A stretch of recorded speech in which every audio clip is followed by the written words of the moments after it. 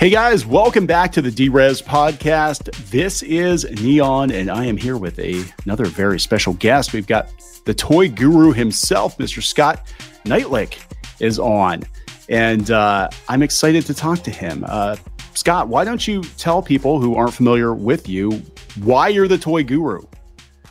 Well, hi, people in podcast land. Yeah, Kneon, thank you so much for inviting me on. It's great to uh, to be on on your podcast big fan of the channel. Believe me.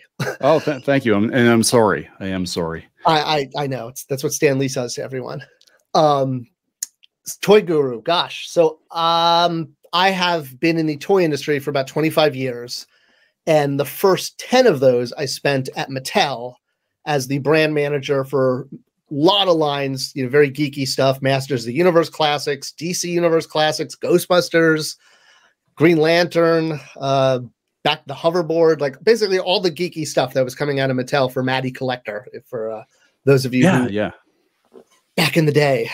Um, and since then, I've worked for a variety of other toy companies. I created Jada's Nano line. If you've seen those little mini uh, metal figures out there. oh yeah, yeah, yeah. That, that proudly mine. That was like oh okay. Like, like literally, like I walked in with that. I, have never had a, had a idea literally translate directly to market as quickly and as literally as that project. So, oh wow, no, that's that's really cool because I, I love those because um you know I grew up with the uh, Star Wars micro collection. That is what I brought in for my pitch. Oh, awesome. Okay, yeah, I love those. I actually played with those more than I play with my four inch figures because you had these these great play sets and they didn't take up a oh. lot of room. You know? Oh my, yeah, no, it's fantastic. Um, and yeah, I, I had a I mean, I'm actually looking at them. They're on my shelf. I had mine and I scooped them up. I brought them into Jack Lee's desk and I said, this is what I want to make, but for all of pop culture. And that's that's awesome.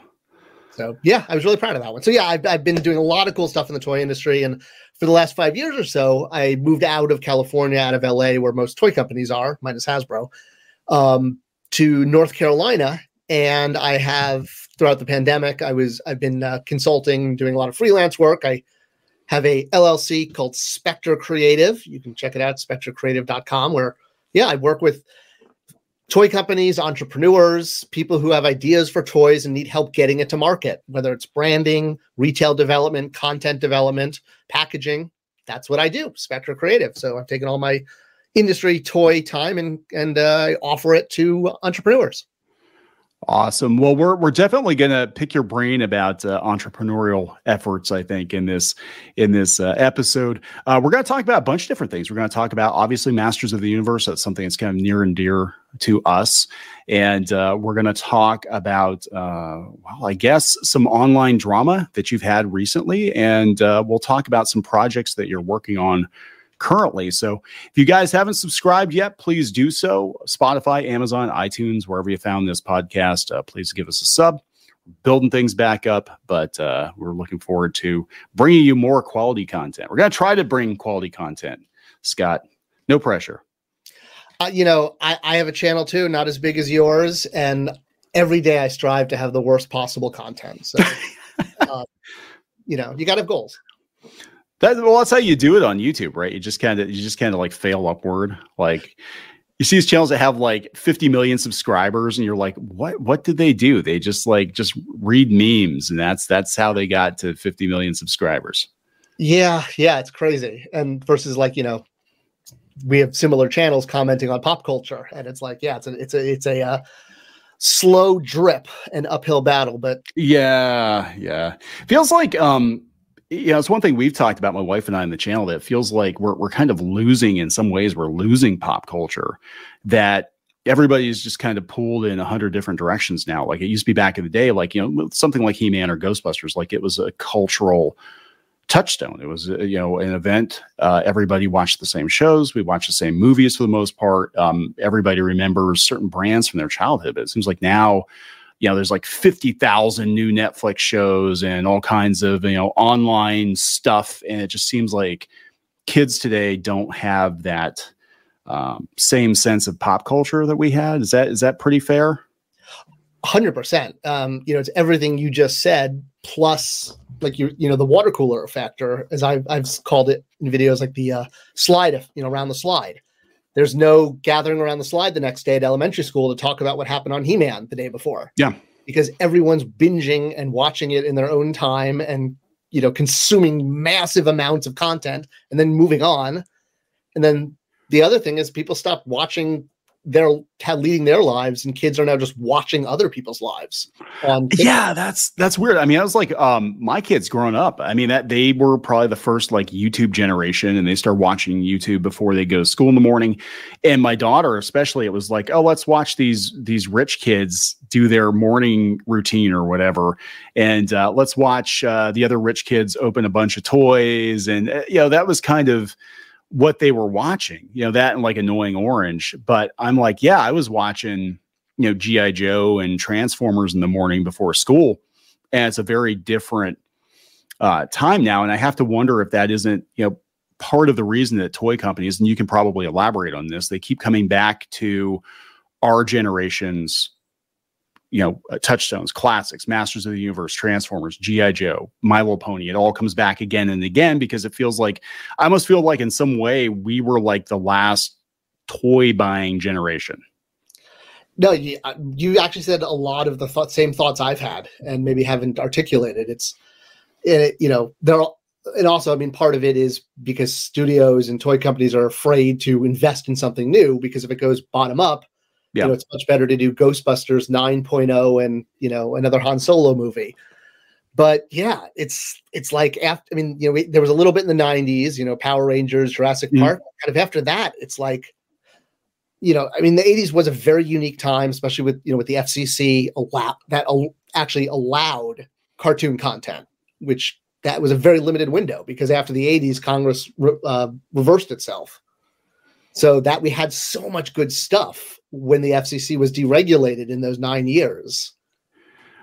Yeah, it's just so weird because I, I, was talking about that with my wife, and I'm like, isn't it weird? You know, because we talk about Hasbro a lot, and we're kind of seeing Hasbro, especially, it looks like they're trying to pivot away from being a toy company and into just like an IP license holder, and they keep, you know, uh, farming out their uh, content, you know, different different uh, publishers, different um, you know companies, Basic Fun and Super Seven and and all that.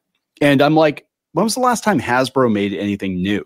Like, I, I can't remember them trying anything new. It's always the same Nerf, Transformers, G.I. Joe, market to 30, 40, 50 year old guys, you know, and the toys just keep getting more expensive inarticulated and exclusive, but it's still like the same group of people that bought these toys when they were 10. They're just buying them at 40 and 50 years old now, better versions of them. And that's, you know, not enough to support the toy industry. The toy industry has always, you know, been on the back of kids and play. Yeah. Yeah. You know, which again, going back to, to TikTok and YouTube and, you know, the fact that kids are spending so much time, wa- like, it's, again, instead of living their own lives, they're watching other people's lives. That's weird. I mean, it's weird. It is, it is weird. I never really thought about that, but I'm like, yeah, because even even in animation, we've seen a shift that most of these, you know, uh, shows for kids, supposedly, it's usually like 20, 30 somethings watching these shows. And then they're like, why, why aren't the Steven Universe fans buying toys? I'm like, because they're probably 27 years old. That's why they're not buying toys, you know? yeah it's it is it's very i mean you know i have a daughter too she kind of is just aging out of toys into that whole you know teenage thing but it's yeah it's not like it was i mean kids are growing up much faster and you know that's not necessarily good for society you know kids need play yeah yeah um so let's let's let's talk about boy, that took a dark turn. Let's talk about happier things. Let's talk about, you know, since we were talking about, you know, our generation kind of being marketed and remarketed to, uh, Masters of the Universe Classics was one of the first lines I remember that was basically a an adult collector only uh, you know, reimagining of the toys that we had, basically more primo versions of the toys that we had when we were kids, and you were heavily involved in that. Um, yeah, I mean that was pretty much. I mean, yeah, obviously it was a team effort. I mean, the horsemen have a huge amount to do with that, with the sculpting. Mm. But from an overall, you know, if if the line was a you know ship of the line, yeah, I was the captain. So, um, you know, plotting the course and making the decisions, and you know, etc. And it was absolutely a dream line to work on. It was you know lightning in a bottle. I mean, I even looking back, I still can't believe we did what we did and like that had happened because it was so outside of the norm, especially at the time. Um, yeah, yeah. I remember when they first came out, and I was really excited. I'm like, man, there's like better versions of the class because this, uh, if I remember correctly, came out not long after the 2002 2003 line. yeah, so that line pretty much officially kind of, I guess, ended in like 2004, and yeah. classics didn't start till 2008 2009. So it was okay. like a five year gap ish, but yeah, it was the next thing.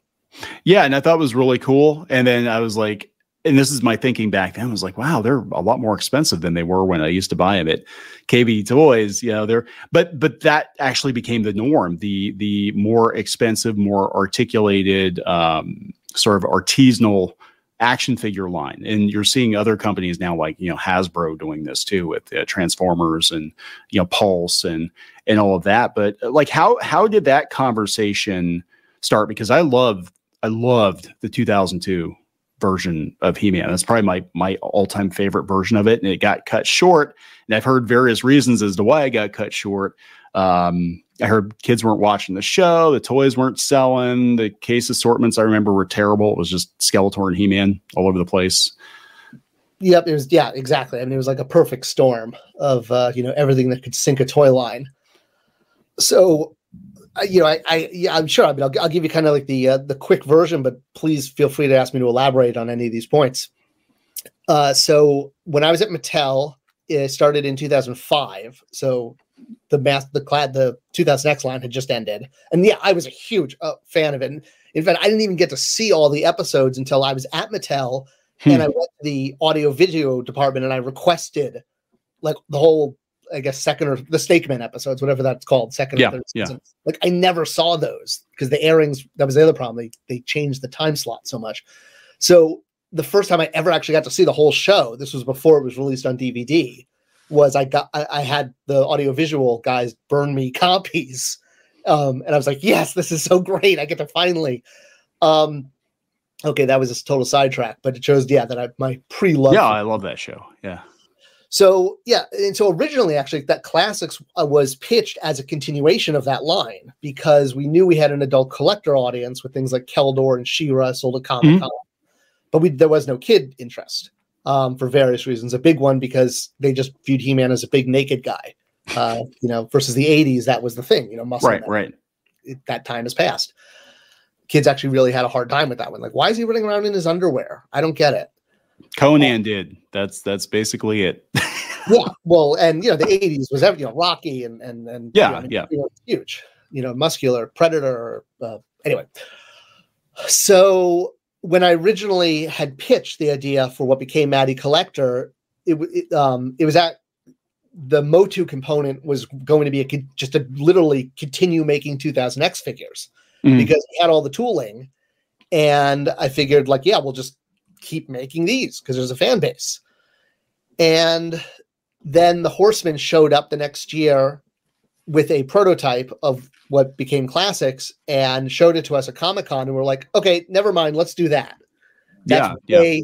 cooler. So they 100% came up, like they wasn't even asked for it. They didn't even know actually that I'd already gotten the ball rolling on doing this 2000X line online. So it was complete serendipity that they were working on their He-Man prototype at the same time. They brought it to us at a show unasked for, just to hey, you know, want to show you something yeah. cool we did. And we're like, you know, we actually just got the green light to do a collector He-Man line.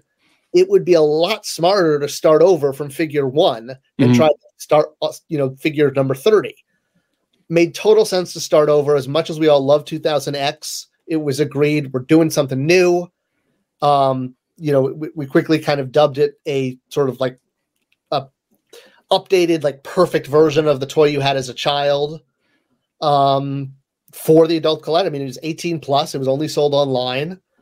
Uh, you know, it was never meant. I mean, it was age graded for kids. Kids can play with it, but it was right, yeah, right. It, was, it was absolutely directly aimed at the adult collector. And we sold a few figures. They did well. We started a subscription. That did well. We got all the way to the point that we basically invented what HasLab does with uh, Castle Grayskull. Mm-hmm. You know, we were doing that decade before, uh, you know, the sail barge. And uh, it's amazing because we didn't collect money ahead of time. And I, I, I can't. It, it shocks me today that fan like because that was going to be such an issue, but fans easily just HasLab train people to do that. So Like, yeah, yeah, it's kind of weird. I mean, it's it's like basically it's like their own Kickstarter, right? They're just like, yeah, we're just gonna take pre-orders. I mean, everybody else is doing it. Why not? Why not a major corporation? You know, we should have done that because we got stuck with a lot of Castle Grayskulls that people Yeah. didn't pick up that they ordered. So, um, but you know, that's twenty years ago. Yeah, yeah, yeah. But it, it really was ahead of the curve because, you know, uh, again, going back to the conversation we had at the beginning, um, that is the norm now. I mean, I look at all these adult-oriented uh, toy lines, you know, Super Seven and HasLab, all that they all have basically your business model. You know, you you drop a couple figures, you sell them online, you take pre-orders. Yeah, it's. I mean, like we did. We, we definitely didn't set out to like create a new market or a new you know selling avenue, but it definitely paved the way. I mean, hundred percent for you know what's and. I mean, I, I think it's a good thing because it's great that collectors are getting so much stuff. I mean, you know, I, I can't believe that Super Seven's pulling out ultimates for all, all these brands. Like, wow, this is crazy. Yeah, I mean, I keep I keep looking at it, and I'm like, man, I cannot possibly. I mean, it, it's I never thought I'd get to a place where it's like, yeah, I really have to decide on only like one or two toy lines because I cannot collect everything. It used to be you could pretty much get everything, and now because you know the, the pickings were slim, right? You'd have a couple of good lines come out, and they have some good toy. Now it's like there's so much out there. It's like, oh yeah, I'm gonna go broke. And it's so expensive. It's very expensive. Yeah. Cause the figures I'm looking at, I'm like, oh, yeah, it's a beautiful transformer. What's that one? Oh, 250 bucks. Oh, sure. I'll take 10. You know, Yeah. like- but eh, again, that's the market. That's a, the adult market is, you know, but we have more money now than we did back then. You have to wait for your birthday. and no that's and that's what it is it's all about acquisition and fulfillment and you know being able to purchase things that we couldn't get as a kid or you know a better version of our memory and yeah it's it's it's, very empowering that's what the Oh yeah. Yeah, because I I know, like, uh, you know, when I was a kid, I always wanted certain play sets or certain, you know, and it's like I could never get them, and I'm like, pfft, you know, I can, I can go buy uh, the USS Flagg now. I can go buy as many Castle Grayskulls as I want. You know, Uh, you you could i won't stop you yeah, yeah. so if you got Yeah. any left over, you know, talk to me after the show. We'll, we'll, we'll make a deal. Um, Fair enough. S- So let's talk about it. We're going to do kind of a whirlwind tour here. Um, so Masters of the Universe in its current state. Uh, can we can we talk about controversy? we can talk about everything Okay, yeah please no, no, you- no rules you uh, uh, said about oh my god, it's been what about a year now, about eight months ago, that you felt like the train was pulling into the station with Masters of the Universe at retail. Yes which turned out to be completely true Yes. i just got the reason wrong Okay. So what? So basically, and I mean, I'll jump right into the the mud because I can probably explain it easier too. So yeah, I, I basically found out from multiple independent sources, you know, different clients I have, different you know Mhm. distributors, that they were contacted by Mattel and told that uh, they should buy more Masters of the Universe Origin figures because Target and Walmart weren't taking the line. I interpreted that that they were dropping the line Okay. what it turned out was they had so much stock of like wave four, the one with naked Stratos, Yeah. they weren't going to order any fresh product. So it wasn't that they were dropping it, but they at the same time they weren't going to be supporting the 2023 fall lineup, Mhm. right? Which is why Mattel contacted all of the secondary distributors, the comic stores, you know, the entertainment stores, big bads, saying, "Hey, since Walmart and Target aren't taking this, you might want to double down on your order because Yeah. people are going to be looking for this stuff." So that's what the memo was. I just misinterpreted it to say they were dropping it. It was not dropping; it was not taking. I mean, that's kind of you could see this fine line. You're not you're not fired. We're not renewing your contract. Yeah, yeah, that's Yeah. So, so Yeah. people were very quick to be like, "See, you know, Motu's still hanging on the pegs. Toy Guru was wrong. He was wrong. He's a liar. He's a liar." But I'm like, the toys that you're seeing on shelf are four years old. yeah. Yeah, is, you know, there won't be a fall 2023 lineup at mass retail, which there wasn't. No, it's um you you were right, and I know I, I got flack because I think we we covered that too. I basically said that felt like Masters of the Universe had a chance to come back properly, and for various reasons, I think they kind of they shot themselves in the foot with it. Um, the CGI show, which I actually like quite a bit, didn't do very well. But those toys are all they're all sitting at Ollie's now. They're on clearance. And Um, that's you- the line that should have done the best, the kids line. They were fun figures. I actually reviewed. I bought some at first. I wasn't sold on the art stop. I'm like, no, these are fun. They're chunky and they're they they have action features. And I'm like, th- th- this these this is actually a line for kids. And the show is- was great for kids. I thought Oh, the show is so good. It was Uh, so well done. And I was like, yeah, all right, this is. But then when that was the first one to fall, I was like, all right, it's over because you need the kid line to support the collector lines, which sort of become branches in the planogram. yeah, And with Origins, they did way too many characters, way too fast. yeah. And so now they're doing like you know crazy, stupid repaints, like the like the Stratos, the naked Stratos, and yeah, and then yeah, I mean the whole Kevin Smith thing. I mean, you guys were obviously intimately in that, but you know, but, I but I oh my god. So that thing, we we are still. I, I swear to God, like I don't even I don't even really think about that often. We have got people that are still mad at us. I mean, we're going on what are we going on like three years now, four years now, and since the show dropped, it's been what like three years. I think it's been about three years. something, yeah. And they're still mad at us. They're still like, well, he technically didn't lie. I'm like, I didn't say you lie. I'm just like, I had, I had, I was, I looked at the script. I saw it. I know where it came from. You'd be shocked. I'll tell you after, I will tell you after the show where the script came from. And, and you may be surprised. Or I may not because I actually know a lot of the people who worked on that. Okay. When I saw it, I'm like, I knew exactly. I'm like, you did that, you did that, and you did that. Um, um, but yeah. yeah. I mean, it's just the I don't know. We still get I- we still get so I, I can totally see you getting crap for the toys because I, I think really like uh, Masters of the Universe collectors are very passionate, and I think they're also not used to being thrown a bone as often as say like Transformers fans or you know what I'm saying? Or My Little Pony fans, where like Hasbro's always bringing stuff back, but you know Motu, it seems like it goes dormant for years at a time and then it comes back and i almost feel like people are getting so upset about this like no this is our time to shine. Like this is it. This is you know masters is back man. And uh it just did not go as well i don't think as in my personal opinion as as it could have but No, and I, I mean honestly, with all the drama with the Kevin Smith and the and the Revolution show, and honestly, none of that mattered because the CGI show had to work. It was all about that. Every, I mean, the, the the the adult collector show, the Kevin Smith show, and the line on top of Yeah. that were just you know icing on the cupcake. Retail is interested in the cake, and when they lost the cake, yeah it- like I mean, all the drama with Kevin Smith, and I total I follow, I, I get it, and I get there's opinions on both sides of the aisle, but much like at the end of the day, you were right, and you know this whole like technically correct is the best kind of correct. But same thing, I was also right. I said there wouldn't be a Yeah. fall 2023 line at mass retail. Everyone gave me like you know horrible stuff over it. It turned out I was hundred percent right. I just was wrong about the reason why. But that's Yeah. not like you said. You're fired. Uh, now please resign or whatever. yeah yeah pretty much. Yeah we're oh yeah you're technically not we're, we're just downsizing and your your job has been uh, outsourced to india or something. You know what i'm saying? Like you, you're, you're, still fired. fired but you're not fired. We just don't have room for you at the company anymore. They're trying to be nice.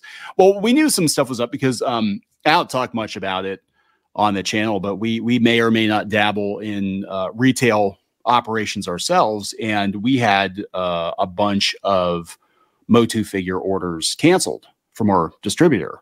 And this wasn't long after you said that you thought the line was pretty much on its way out. It was weird. We had a whole bunch of new figures on order and we actually had uh, we have some diehards that want those figures and our distributors like yep we're just we can't get them anymore.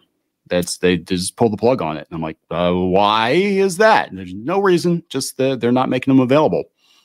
Then they'd show up on like entertainment earth or big bad toy store and you'd have to buy the individual figures you can buy the cases which i thought was kind of weird but That's I mean that's basically what happens with when a line you know when the content dies. Yeah. And because the, the the product line is in development so early, and you know it's like it's the same way back in the '80s. Things like Megator and Tytus showed up in Germany, Mm. the UK. That you know because they yeah they'll they'll they basically plan for the best. But when Target and Walmart basically said, "Oh nope, we don't need any more. We're not. We we were still sitting on you know spring and last fall. We don't need you know fall 2023 product." Mattel bases all of their production. Well, all companies, Hasbro. I mean, I'm not throwing Mattel under the bus. They all base their production numbers on assumed retail orders. So when a line doesn't perform at retail and retailers pull out, like dominoes just fall in every direction and things just go haywire like crazy because there's you know yeah they've got contingency plans but it the plan was to be at Target and Walmart and when that fell apart yeah.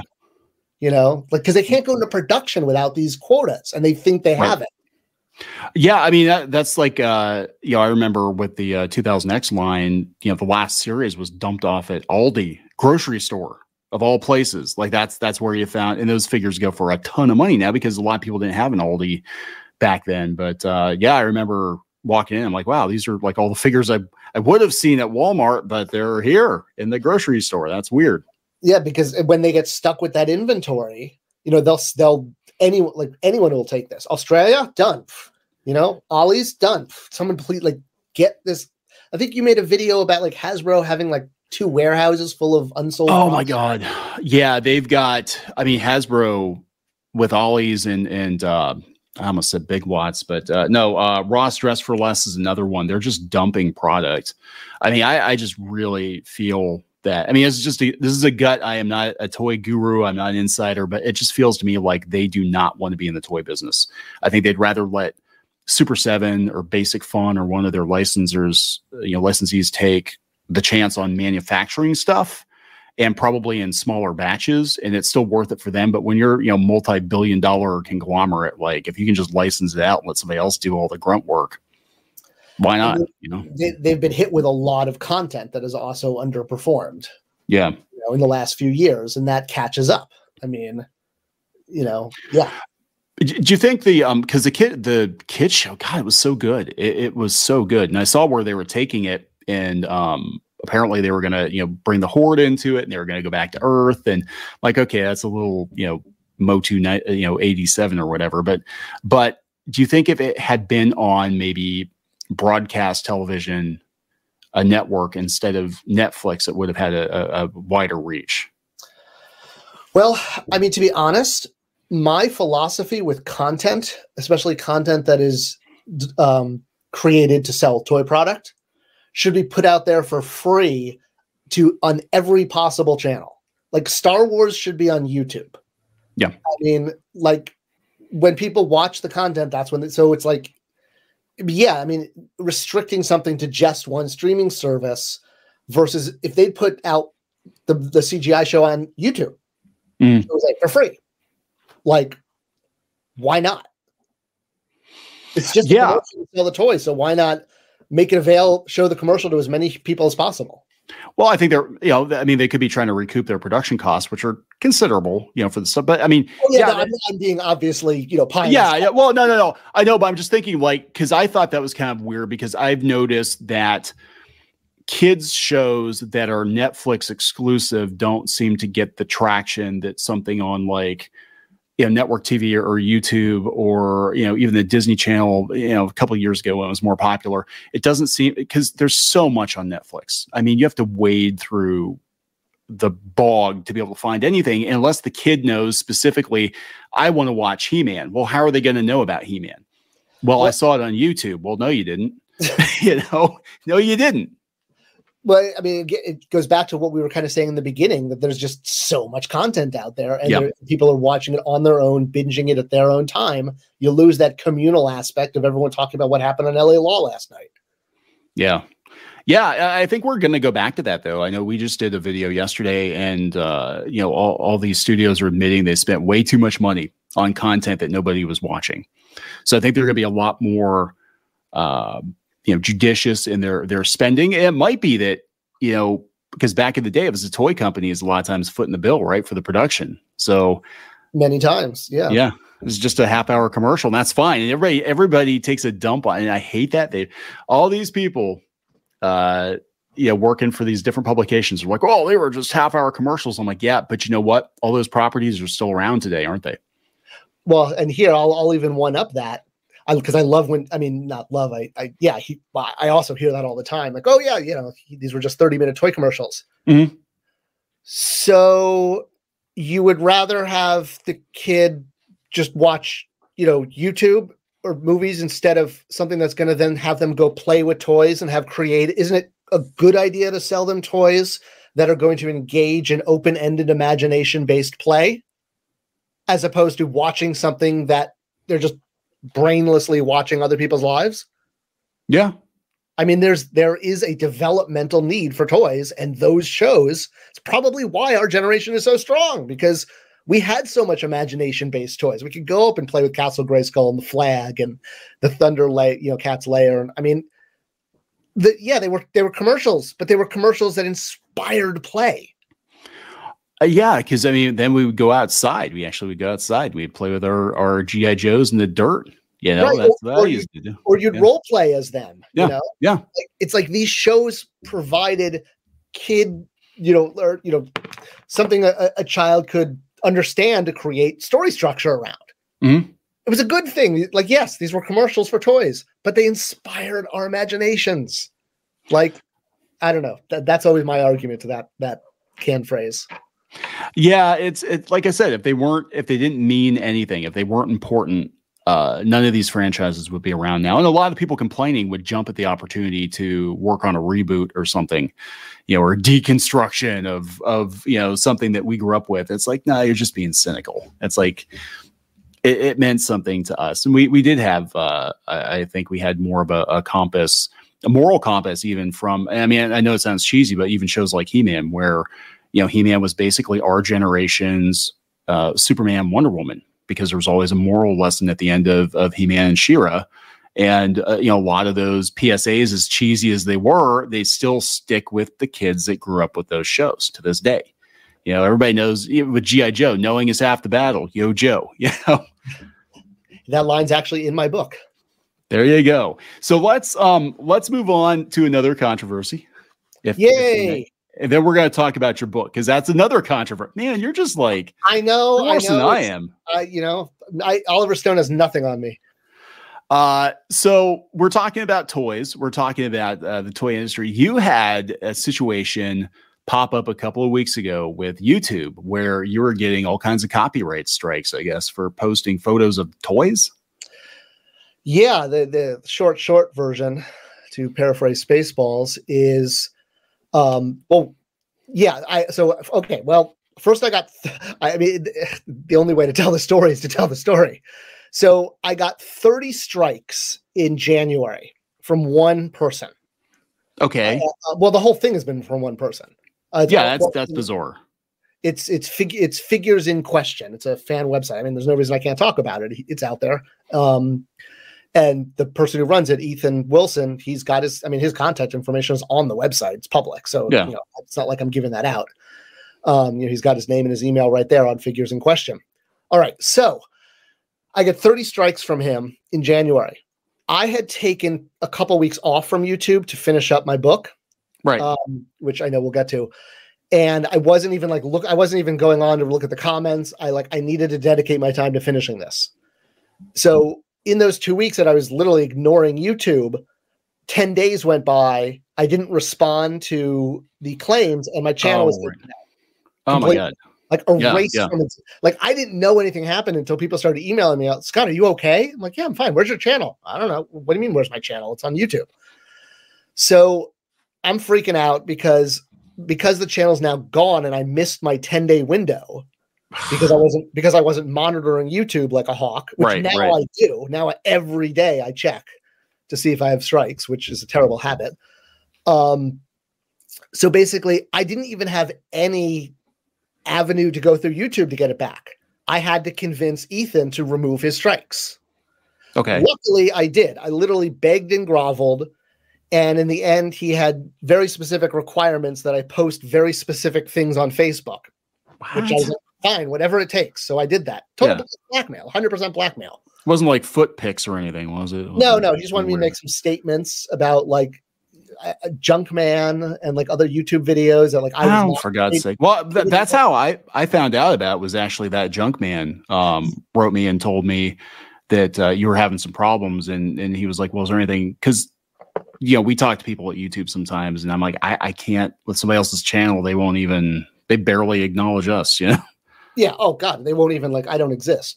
Yeah. Um. So luckily, that first time, Ethan was willing to take down the strikes, and I said, "Look, I'm a nice guy. Like, tell me if there's a video that I've used your content in. I will remove the video. Yeah. I will yeah. edit that content out. I will. I'll take it down until you reapprove it." Um, and he was like, "Oh, you know, thank you. That sounds great." I said, "Just let me know what content is yours, and it would be great. Can you also just forward me your copyright information? Um, you know, much like my book, I reg- I mean, that's registered with the U.S. Copyright Office. I have a registration certificate for it. I paid Right, a lot right. of money for that. Yeah. Um, you know, because I wanted to own my. I got the Disney deal, my life plus ninety years. All right, you know, I, registration's a big deal. Oh yeah. So he never got back to me, never got back to me with a list of videos he wanted me to look at, just nothing. I was like, okay, well, I guess he's just, you know, whatever, we'll part ways. I got my channel back. That's that's all that mattered. Another day goes by, and then I had like no, it was 63 more strikes, all from him. All of these What? are they were all still images of a single toy against a white background. That I'm, yeah, I'm sure. I mean, I talk about toys all the time, and a lot of times I'll grab an image Right. Right.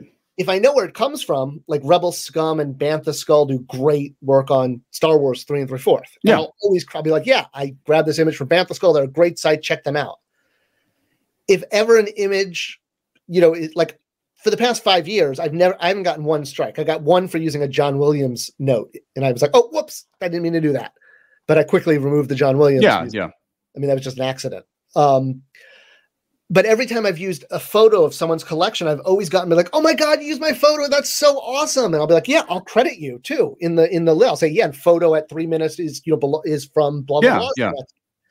Or I'll even say, "I'll make a you know I'll I'll do a whole video." And I offered this to Ethan. I said, "I'll make a video about your site and like say how great it is that there's all this cool phos- photography." I mean, in a way, it's like product placement. It's free advertising for his site. You know, if you, if you get a Coke can in a movie, that's awesome for Coke. Yeah. Yeah. All right. So I had 63 more strikes. My channel wasn't removed because I immediately appealed them, as opposed to what happened in January where Right. I Right. Was off the channel for those 10 days. They only give you 10 days to save your soul. Um, so I basically appealed them, but because I had so many strikes, I couldn't, I my channel was up, but I couldn't upload videos or release videos in my queue because I have about 60 days worth of videos in my queue usually. Mhm. And that are, you know, just get released. And so all of them were frozen. Nothing got released for about a month. Finally, so what? So I appealed. He uh, he reappealed. I reappealed, and then finally he had to either he had to basically take legal action against me or drop the case. Like YouTube basically was like shut, you know, uh, put up or shut up. Basically, Yeah. Yeah. prove that you're willing to fight. You know, if you can't produce registration, then you have to take legal action. And he obviously didn't. And so, because he didn't take legal action against any of those, YouTube dropped every single one. And then a week later, I got five more. And then last Saturday, I got one against a thumbnail, not a video. I got a strike, a full copyright strike with video taken down based on content in my thumbnail. I don't even know what it was because I can't see the thumbnail anymore. The, so yeah, this is a thing that is really irritating with YouTube. I mean, you know, they basically shoot first and ask questions later. So they will 95% of the time they will side with false flagging and stuff before they get around to getting a human to actually review it. And it's one of the biggest problems I think with YouTube right now because people can abuse it. You can have, you know, a couple of crazy stalkers just constantly false flag and downvote uh, videos. And we've we've had that. We've run into that before with people. Like if we would uh, cover a certain topic they don't like or something, or take position they don't like, that you know we, we would see that uh, those videos would either go yellow, get held for a while or you know get taken down. Um nothing in the copyright area but there there's definitely some shenanigans going on and I just can't believe that that YouTube like if they know it's this one person be like yeah you know what? You're not allowed to flag any more videos. Because it's just well, is crazy you know and, and let me state I get where he's coming from I respect you know that he took the time to photograph these figures yeah. The, the thing is, from a legal standpoint, you know, if you take a picture of, you know, Spider Man, you don't own, I can't sell that because you can't, Marvel owns that. You don't have uh, yeah. to that. You, you know, you could say, I took that picture, but you don't have the right to monetize that picture. And, yeah. Sorry. Oh no, I was gonna say you're not technically the. Co- I mean, you you might have taken the picture, but you're not technically the copyright. Copyright, exactly. Yeah. So yeah, I get where he's coming from, and I and I you know I, I I, this was never, I, it's not like I'd used his pictures to hurt him. I just feel like he could have written to me, called me directly. I'm really easy to get a hold of. spectorcreative.com. My direct contact information's on there because I use it to get clients. I want people mm-hmm. to contact me. Um, he had, you know, and we were like, just come to me. We'll talk. We'll figure something out. I can help promote your channel. Like my YouTube channel is probably bigger than your fan site. Like, let me help you. Um, but no, he just like keeps sending these even after 93 of them were found invalid, he keeps sending more. That's wild. Yeah, it's, it sounds like there's definitely uh I don't know. I don't know the guy, but it sounds like there's definitely something else going on, like mentally. And, and, there, and most of the images are on screen for an average of three seconds, and they're not the subject of the video. Yeah, you know, they're just like I'm referencing, like, you know, oh, and you remember Admiral Ackbar had red skin? I'm showing a picture of an Admiral Ackbar toy. Okay, now let's go back to what I'm talking about. Uh, yeah, that I mean that I would actually argue that would constitute fair use because you are allowed to. You talked about John Williams. You're allowed to comment on a Star Wars movie trailer as long as it's transformative. You know, you have to. Like I've had people take our videos and they've you know ripped us to shreds but they've they've taken our videos and they've commented but they they took our video and they would you know play about 30 seconds of it and then they would add commentary as far as youtube is concerned that's considered transformative 100% and which yeah. is what you know again and i mean we'll get into this we're talking about my book because of the whole you know ownership issues but i respect copyrights absolutely and i would i would it just i did reach out to him i'm like how can i work with you I didn't, you know, purposefully try to violate your right, right. own material. If I inadvertently did, how can I make it right? And radio silence, strike, strike, strike. That's weird. That's just weird. I mean, we had we had something similar uh, actually happen with oh, Mattel, and if you can't uh, if you can't comment on that, that's fine. You wouldn't know what was going on. But we had um one of their lawyers reach out. one of their lawyers one of their lawyers, uh, yes, one of their legal people, uh, reach out to us. It was about 15 years ago. My wife had another blog. We've been running websites and fan sites for about 15, 20 years now. And she had a site and she was uh, covering the new Monster High dolls. We're huge. I mean, we get all kinds of traffic on Monster High articles. Well, she found some photos off of a forum um, of a doll that had not been released yet. And she made the mistake of posting an article. Uh, uh, we thought we could because she's just reporting on it, right? Well, uh, Mattel actually contacted our ISP or whoever this this attorney was, you know, working for them. Contacted our ISP, did not contact us, and actually had our site our, our site shut down until we remove those images ourselves. And uh, at that point, I think we were hosted in the US. And after that, I immediately moved all of our websites overseas to the Netherlands so there, you can't you can't do a DMCA takedown request. So I'm like, you're going to have to go through me, and you're going to have to ask me nicely to take the photos down. We did have a situation. We had a situation like that with uh, Paramount on uh, one of our blogs and the new Ninja Turtle toys. And again, it was from a forum. One of our writers put the pictures up, and they're like, "Oh, we're going to do this and that." And I'm like, "Well, if you, say the magic word, if you say please, I'll, I'll take the photos down." If it bothers you so much, but I have no legal obligation to do so yeah, we're all nice people. No one's yeah, trying yeah. to like exactly. I just ask. yeah, just ask, and that's you know nine times out of ten, that's you know all it takes. But it's yeah, it sounds like there might be something else, some sort of personal axe or something this dude's got with you. know, I don't know. a past life, I you know killed his son. I don't know. I don't um, know. It's like, oh, hate that What- guy, that toy guru. He Whatever I did, honestly, Ethan, I apologize because. I don't know, but i- think he's run out of videos to flag at this point because he's now flagging thumbnails. So Oh my Oh my god. I assume we're done. So I think that like I was hoping that was like the last gasp when on Saturday I got a thumbnail. wow. Okay. Well, never use his site, never mention his site, never go to his site. Tell other people not to go to his site because if you go there, uh, apparently bad things are going to happen to your channel. Uh, but you got your account yeah. back, right? You're good. Oh yeah, I, I got not only did I get it back, but just today enough of the strikes because it they have to ro- go through YouTube's like appeal system, which Right. takes like anywhere from 10 to 25 days. Yes. And literally just this morning, enough of them fell off that I now have complete like I still have a few strikes, but they don't affect me being able to upload content. So I can wait for those ones to fall off or finish going through YouTube's appeals process. It's not as much of a critical thing because they're just there and it just means those four or five videos just can't be seen by people right now. But yeah, You know, if he were smarter, he would he would claim monetization on those videos, and he would just get all your money. And uh, you know, don't give me any ideas. Oh yeah, the, the twenty-five dollars Yeah. a month that I make. Yeah. well, he can go buy himself some new action figures to take pictures of on a white background. I guess I don't know. Hey, you know those white backgrounds are are hard to get these days.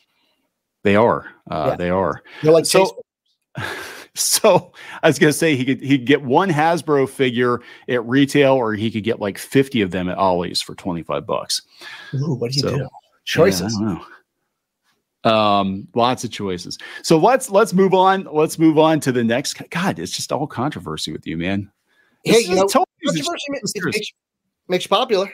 Yeah, yeah. There you go. Uh, let's talk about your book. You're you're working on a book, and uh, you, you're you're afraid you're going to whack the beehive with this book. Yeah, well, uh, yeah, I kind of knew. Well, going, I mean, I okay. Yeah, where do you even start? So, um, I just published my book. It's on Yes. Amazon. It is Okay. called Myth Wars. Okay. super easy to find. Uh, Amazon search will bring it right up. Google search will bring it right up. Um, and yeah, there you go. Um, no, wait, that's not it. We're gonna find it. We're, We're, gonna, gonna find, find it. it. There we go. There we go. Woohoo! Myth Wars Um, Volume One: Zeus, the Teenage Years. So this is a book that I originally wrote in 2005. Okay. I wrote it as an animated series, similar to Masters of the Universe 2000X and Justice League. Yes. pitched around Hollywood, made it pretty far actually, got to Warner Brothers. I wound up going to work for Mattel, and as a caveat to that, no outside projects. So I shelved it, which is totally fine. I respect that.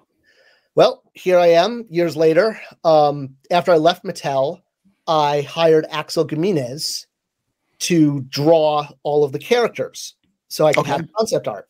He was the artist, he does all the origins um, card backs Okay. Okay. and and he and I worked together on the Motu mini comics at Mattel. So, uh, so I, I wanted to, I basically wanted him to pay him to draw the whole book. Um, I could not afford that, so I basically paid him every cent I had to do as much work as I could afford, which wound up being um, renderings of all the main characters plus that cover image that um, of the book. That's by Axel. okay. So I also actually offered him 50% ownership to draw it, but Yeah. he just did not squeeze it into his schedule to do it. Yeah. Yeah. So I said, totally, I respect that. Like, I'm not going to force you to draw my book. I just think your art's beautiful. So I shop that around as well with his art and my script. Getting a comic book made as a writer is really hard. Yeah, it's Unless it's hard getting a comic book made in general, but yeah, he as a writer, definitely. I mean, if you're an artist, at least you can show, you know, like if you're like Jeff Smith and you can write and draw, you Yeah. know, yay. So I had Axel's art to show what I wanted it to look like. I had my script, which I was very proud of, but people are like, yeah, no, we're not like, you'd have to find an artist. Like, I don't have any money. I paid every cent I had for, Right. you know, concept art. So fast forward to this year, and I'm finishing my MBA at University of North Carolina, Greensboro. Mm-hmm. And one of the classes I took in December was on using AI for business purposes. And so I'm playing around with chatbot I have like the upgraded version that lets you do images and analysis that I had to pay for for the class. So I so since I had access for this for the, for the month, I was like, I wonder what would happen if I asked it to draw a Myth Wars character. And I was like, wow, that's actually really close to like what I had in my mind. I wonder if I could like draw a couple panels. I wonder if I could do a couple pages. Yeah. Whoa, yeah. this is actually coming out really nice. I was blown away. I mean, it took every panel had to be rendered at least 25 times, some up to 100. AI is really hard to work with to get it to draw exactly what you want. It's not like you could just take a script and say, draw this. Yeah, it's not quite there yet, but it is it is um, evolving uh, at a very quick pace. In fact, I, I, did a video yesterday talking about DC Comics that uh, artists now are sort of uh, participating in witch hunts to try to figure out who's using AI and who's not using AI. Um, because I think there, I think there is a fear, um, you know, with artists of, of being replaced. But um, I think as an artist myself, uh, actually, my background was in, I worked on a lot of Disney stuff and uh, we do still publish our own comics now. But like, I, I could see it being a valuable tool to speed up uh, some of the more tedious uh, processes in production. Like, you know, instead of drawing that background, uh, you know, a hundred times over, just like we've got a model of it, or we've got the AI knows what this, you know, the interior of the Bat Cave looks like, and we're just going to kind of, you know, speed things up a little bit. So I think it definitely has has value for traditional artists too. You know, and I mean, one of the things I, you know, I didn't set out to do this to create a, uh, you know, an AI graphic novel, um, but I, I mean, I learned so much from doing it. especially, I mean, learned about the limitations of AI, and I mean, there's so much that only a human artist can do. Yeah. One, keep people on model. I mean, mm-hmm. the characters are not on model. I mean, they're they're I would say ninety percent on model, but you'll see, you know, Zeus's you know cape changes length, or the way his uh you know lightning bolt on his chest is changes. You also you can't depict violence. I had to do a lot of cheats where one character would be punching the camera and then the next panel would be someone reacting to being punched. Um, you can't draw anything that's licensed or IP. You know, you can't draw Spider Man or Batman. Yeah. So nothing is going to replace comic book artists. Mm. What this is, is this was a creative experiment to see if, as a writer, can I use AI to express myself visually, which I mm. can't do as a writer. I didn't put any artists out of work doing this because there was no money. I spent all of my money on real art, which is actually in the book. I have a huge yeah, yeah. sketch book um, in in the book with with all of Axel's art as well as art that I had commissioned back in 2005. So for 20 years, I've had commissioned art, you know, renderings of characters, which is also legally how I'm able to own it too, because mm. you know while I might be, not be able to own like one panel of AI art, the concept is copyrighted the characters were drawn by real you know artists and every page was you know was stitched together from you know anywhere from three to six you know images that were cropped that were that were you know color changed that were reversed that were you know all sorts you know i i, I would sometimes I'd have to, you know, if I'm building a character, I might not be able to get all the details. So I'll do the lion body and then do wings separately and then just drop yeah, yeah. body you know, Photoshop it. So there was a lot, a lot of that. Um, you know, it was not just give me this panel. I mean, right, I, right. I think two percent of the book was probably, whoa, I got the perfect panel right away. Um, so it, it was, you know, I was like, I wonder if this will work. You know, as I went and I just I rendered the first chapter and I was like, this looks really nice. I mean, honestly, the art really is beautiful. Um, it looks, you know, there's not like weird AI, like, you know, four legs, mm-hmm. you know, that kind of stuff. Like, I mean, there, I, when I got that, I disregarded it. You know, I would render until I got something. Yeah. That, yeah. That was close. Um, the story, Myth Wars, is the the the story. It's it's recasting the Greek gods as superheroes. Mm-hmm. You know, we always look at you know Superman is Zeus and Aquaman is Poseidon and the Flash is Mercury, you know, etc. The original Greek gods especially I think thanks to Clash of the Titans, we look at them as just like these old fogies that sit on thrones and judge the humans. In Greek mythology, there was a 10 year battle between Zeus in his prime against Kronos and the Titans. It's the whole opening of Disney's Hercules, if you want to Yeah, check out the yeah. opening credits. That story never gets told. It's always, yeah, there was a 10 year battle between Zeus and the Titans, and Zeus won, and there was much rejoicing. Yay. I always wanted to see that story. So this is the first part of that. It is anywhere from between somewhere between eight and 18 volumes, Mhm. uh, with this being volume one. And Myth Wars is a much larger story than just telling the Titanomachy, the story of the Olympians versus the Titans. There is a whole intermythological war conspiracy. This is an epic. Um, you know, I wrote it first in 2005, but I wrote the whole thing. So there is an ending. Um, this is the beginning. There's also, you know, there's a end, beginning, middle, and end. So it's it's a Mhm. finite story. It's a specific story, and it involves all sorts of world mythologies, gods coming together to defeat other gods.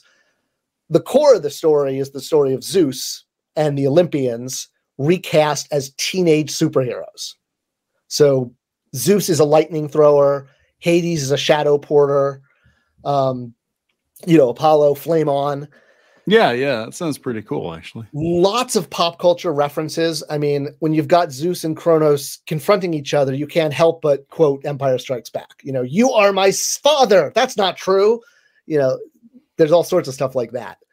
So, which also just, you know, puts a mirror to the fact that most modern movies are just mm-hmm. retelling, you know, The Matrix, Star Wars, it's all just Greek mythology. So I very deliberately will reference movies or, you know, you know, those kind of things. So adult fans will really appreciate it. It's aimed at third through seventh graders. It's meant for fans of things like Smile and Roller Girl and Dogman, um, and it's and it's formatted that way. It's it's uh, five five and a half by eight inches, but it will be highly enjoyable by you know people like us. I mean, it, it's, it's Yeah, meant yeah. to appeal on both those levels, um, and I think that you know both adults and kids, especially who are Greek mythology fans, this story really takes those characters and brings them to life in this way that's always been there, but no one has told the story of Zeus in his prime, not as this old guy. He doesn't have a beard. I mean, he's he's got red hair and a cape. You know, he's got to learn to use his lightning powers, and he's got to take down his father. It's his destiny, and uh, you know, it's it, it's a really. I'm talking too much, but it's available on Amazon. Okay. I'm really proud of it, and I apologize ahead of time for anyone offended that I used AI art. Yeah, that's man. It just became such a firebrand. Like I did not expect the AI art uh, controversy to blow up as much as it has. But yeah, Myth Wars Volume One, Zeus: The Teenage Years, on Amazon. Uh, if you're interested, guys, I can I can put a link in the uh, show description for you for sure. But um, yeah, I think I think AI. Um, I I think it is going to become just part of the workflow. Personally, I mean, this is a this is a guy who's gone from drawing traditionally to digitally to incorporating you know Photoshop more into my work, and I I think in five or ten years time, it's just going to be part of the norm. I mean, Photoshop is already integrating AI certain AI uh, tools into it. It's just it's it's going to be a normal part of the creative process now you know how people are going to feel about that in five or ten years when maybe you know you don't need as many artists time will time will tell you know but i, I think it, it, it does open up a lot of possibilities because like you said if you've got people out there that maybe have um, some really fantastic ideas but they can't quite visualize those ideas you know to be able to get that stuff out there in, in some form and be able to show other people you know what's in your head i think is is pretty cool you know, and thank you, thank you, and um, and I appreciate it, especially you know for yourself, who's a talented artist, who I am jealous of because I am not. Some of my art is in the in the appendix too, and you can see how bad it is.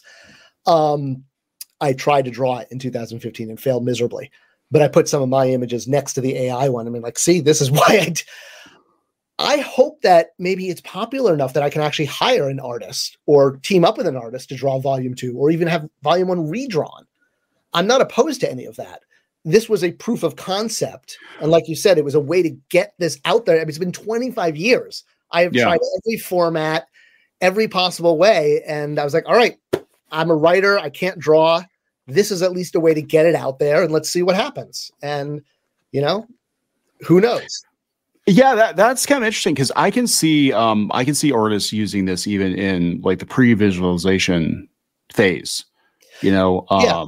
To put together even just some some layout ideas or composition ideas because sometimes you know I struggle with with composition and it's like okay, give me like 20 different variations of you know character jumping out of a plane into a cityscape or something and pick the most dynamic one. Okay that i'm going to use as a reference. And I, I, guess in that regard like how is it any different than using a photographic reference or swiping from another comic book artist? It's, it really isn't. Ai is a tool you know it, like ai couldn't have, sold, have, have created myth wars on its own you know, yeah. it, it, couldn't write it. It couldn't render the panels. I mean, even when I tried giving it a page to see what would happen, like it was all sorts of crazy crap came out. But you know, and another way to kind of think about it is like when Jurassic Park came out in '93. I remember the, the great quote from Stan Winston when he saw the CGI models that were replacing his early raptor puppets. He said, "Wow, I guess I'm extinct." Then they gave that line to Alan Grant in the movie, but that's where the line came from. And it's like you know, when CGI came along and put, you know, the the Ray Harryhausens and the Stan mm. Winstons, I mean, yeah, there are still practical effects, but nobody seemed to protest that. You know, the way they are with with still art. Uh, they were fine with with computers creating art that moves, but if it's still art, it seems to be an issue. I don't know. Maybe I'm looking at it wrong. Um, there, there. Well, there was some controversy. I know it. Uh, Disney specifically with 2D animation going into 3D. And I remember a lot of artists saying that, you know, 3D was never going to catch on. And a lot of that that's a great was, one too. Yeah, you're right. It, yeah, it was it was it was fear, and they weren't wrong to be afraid because you know 3D animation is is a lot more technical and a lot more specialized. You have people that literally like their job is to to animate fire or water or effects like that. You're not you know doing the whole scene yourself. That's a very different process. And um, you know, then we saw not long after Toy Story that Disney pretty much just did away with you know most of its 2D animation. But there is a demand, a desire for that. There, there still is a demand for 2D animation. I mean, I just watched X Men '97 this week, and yeah, it was done with computers, but still 2D animation. It was, it was good. Um, so you know, I think it, it is coming from a place of fear because the comic book industry right now is not in a good place financially, despite what some people want to say or claim it's not. And so the jobs are kind of fewer and further between. So people are concerned that, you know, those jobs, the few jobs that are there are going to be taken. But I'm like, you know, there's always a place for fantastic art. There's always a place. I, I think what's going to happen is we're going to um, probably have well, one of two things could happen. Either we have more books out there from people because of AI, you know, helping like fantastic creators be able to get more done, or we're going to have fewer books of, of better quality anyway, just because of you know natural selection, because people can't afford to buy a bunch of five dollar books that aren't good, you know, every month. So it's just gonna that's well, you know, and it's interesting because yes, I mean the comic industry is clearly, at least as far as you know, the superheroes buying it from your comic book store. Yeah, but um, several friends of mine who are quite large in the industry have noted to me they're like comics are actually selling bigger than ever now. They're just yeah. in a different format. Yes. Target, Barnes and Noble, like I said, Roller Girl, Dog Man. Mm-hmm. Like kids read more comics today than they did 20 years ago. Um, which is also why I formatted Myth Wars, you know, in that format because that's my goal is to get it to that audience. I, I don't think our kids ever read uh, floppy comics. I don't think they ever did. I know, you know, my daughter, she would get books from Scholastic. My son would read graphic novels or manga. Um, and even now, again, going back to the retail component of some of the things that we do, uh, I don't have a single person asking for a Marvel or DC monthly book. We do carry manga and we carry graphic novels, but no, nobody, kids are not asking for traditional floppy comic books anymore. It's just kind of how it is, you know? Yeah. I mean, I still, you know, I, I pick up my stash, you know, every month. I like having the physical books, but it's a, uh, yeah, it's, it's definitely a weird time for, as you call them, floppies. Um, I like that because I, I totally follow. Because yes, again, my daughter, yeah, had all the graphic novels, all the Babysitters Club, like you know, and she loved it. But I'd give her a My Little Pony comic book, comic book, and she was like, no. So, yeah. Um, they don't hold up. You know, they, I mean, it's, it's just a lot of down, you know, and plus the cost. It's like, so you're a kid, you got 10 bucks, you can buy two 22 page floppy comics, or you can buy, you know, this big, thick graphic novel or manga. I mean, that, you know, Myth Wars, fourteen ninety nine. I mean, it's 221 yeah. pages. It's, can yeah. you, uh, uh, is the screen on going to be on if you scroll uh, down? Uh, no, no, oh, but that's, that's okay. I was gonna say, cause there's some art at the uh, if you scroll okay. down, that's all right. Um, I'm gonna I'm gonna look at the art. There we you go. You can look at the art. So there's some of the art. Oh, it is nice. I mean, you know, and it's just because someone wants to do an AI comic again, yeah, doesn't mean it's going to come out well. Um, right, right. You know, they have to have a good story that's compelling, and you know, yeah, th- these pages of art that you're looking at here, and anyone, this is all on Amazon. So if you're listening at home, just go to you know, Amazon.com, type in Myth Wars, and you'll see the art. Um, you know, every those panels took hours and hours to render each. You know, it's not like I just said do this. Um, right, right. You know, so this was this was a labor of love. You know, I that because I've been trying to do this for 25 years, and I finally hit on a way to. It was like, whoa, I'm seeing Myth Wars for the first time. That's to me what it, it was really. I was doing it for me. Yeah, yeah. I, would never seen my story. I'd written it. it. It's been in different formats, screenplays, comic book formats, novel formats, but I'd never visually seen it. And I just kept going until it was done. Yeah, it's pretty cool. I, I don't think people realize, like, you know, again, I think in five or 10 years, and this is coming from an artist, I think it's going to be kind of a silly argument um, because I think it's going to get to a place where really the consumer is going to decide what they want. And as long as the AI art is not, uh, you know, copying somebody else's copywritten, trademarked art, if it's a tool that's being used, and it will be a tool, and I guarantee you, almost every piece of media, almost every piece of media that will come out within the next five to ten years will have some kind of an AI component to it, because it's going to make job uh, the job easier for creatives. You know, uh, so I think it's going to be kind of a silly argument to look back in 10 years be like remember when everybody was like outraged that comic books were were made with ai art? You know it's like it's like remember when everybody was at and th- this was a thing. Remember when everybody was outraged that uh, artists were inking digitally and coloring digitally instead of doing it by hand? That was literally a thing. And, and, and, and when lettering fear. changed from yeah. being by hand to being yeah. by computer I, I you know like i lettered this yeah.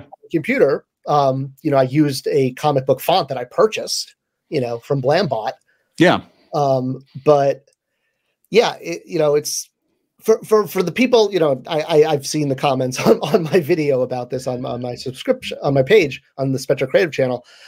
Um, I get it. I get why people, you know, the ethical issues and the concern about jobs and you know putting people out of work. But what I would just say is, I spent a lot of money on real artists. Mm. I couldn't afford to have a real artist draw 221 pages.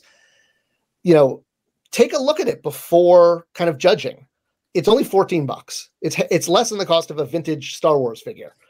Um, you know, and I also I have a very lengthy essay I wrote at the very end about the use of AI, and I think you'll find that I agree with you. You being you know the person listening to this, uh, yeah, you know, yeah. I have the same feelings, the same trepidations. I didn't just do this to like you know. So I, I I addressed it head on. It's in the it's in the book. So and for those of you who have kids that are into Greek mythology, man, every sixth grader that I hand this to could care less. They're like AI. What I don't even know what that like. Whatever. This just looks awesome, and they just like start tearing through it.